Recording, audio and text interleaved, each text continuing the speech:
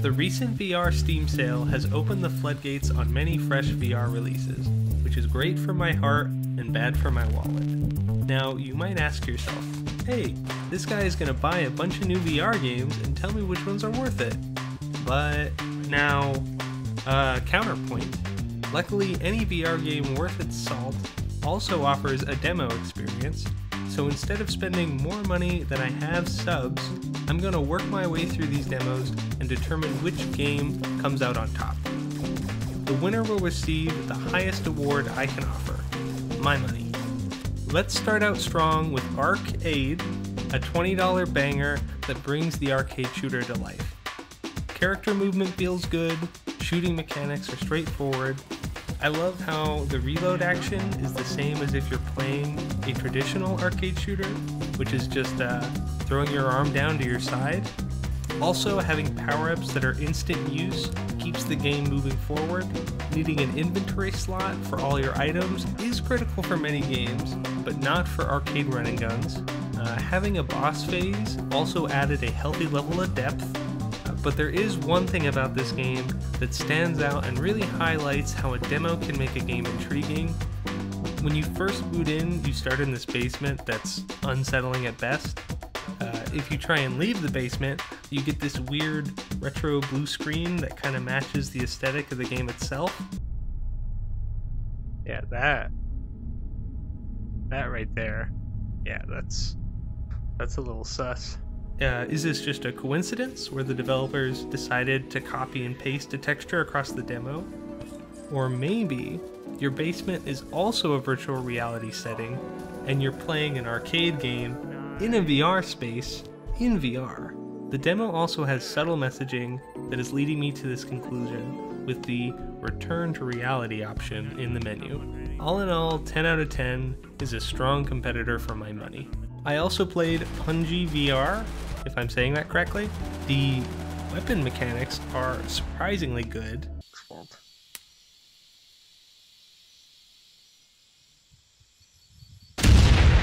Uh, the feel of shooting Vietnam War era weapons is exactly what VR should be used for. The demo provides a flushed out feel of the game, allowing you to progress through two settings. Now, I prioritize mechanics and vibes over the scenic appearance, uh, but even with that being said, this game isn't winning any graphical arts awards. The enemies have so-so awareness, and picking up dropped weapons took me the entire demo to figure out. I'm throwing this game under keep an eye on, has potential, but would rather spend $20 on a turtle toy. Next was Down Fast VR. Uh, currently only available in demo form, and um, well, I'll just say my experience was nothing like the game trailer. oh, oh, I was so close.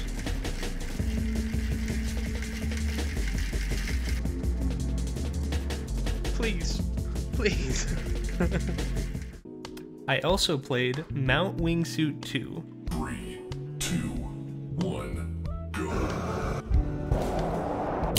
Now, I never played the original, but the demo shows improvement based off the videos of the original. Uh, this is another game with great potential and definitely has a niche, but I, a grown adult who checks my bank account prior to buying a $15 game, will be holding off on both Mount Wingsuits. Timberman VR follows in the footsteps of Beat Saber for those who want to flail their arms around to music.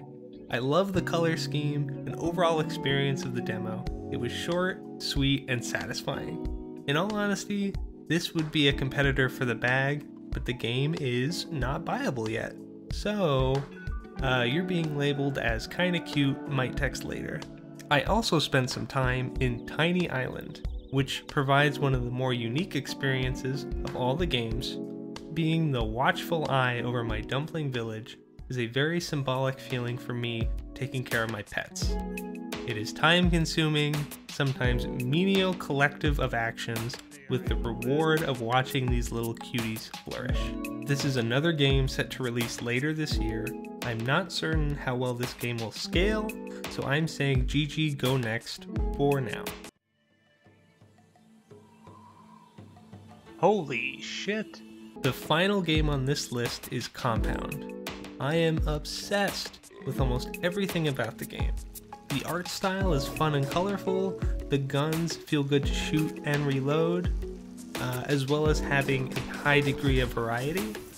The rogue genre is secretly my favorite, and you get hunted by a mutant rat.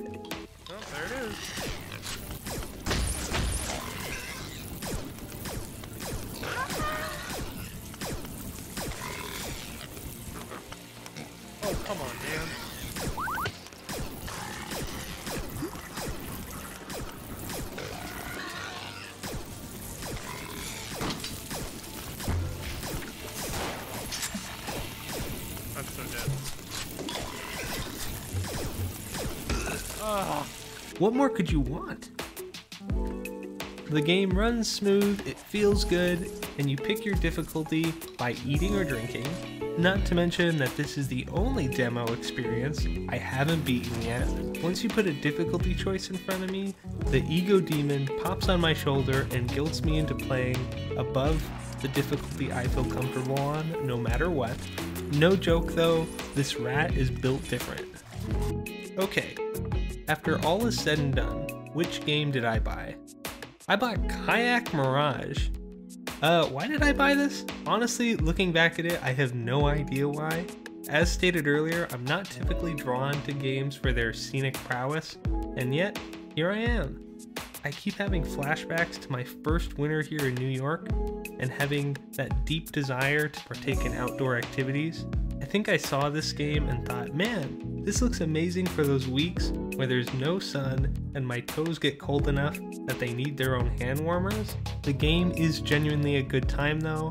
It really does look amazing and offers both a race and scenic mode, which is a nice touch. It's just, I probably won't be playing this game much till next January. So I know this video ended up being kind of a roller coaster. Thank you to everyone who stuck around with me, and I will see you in another video.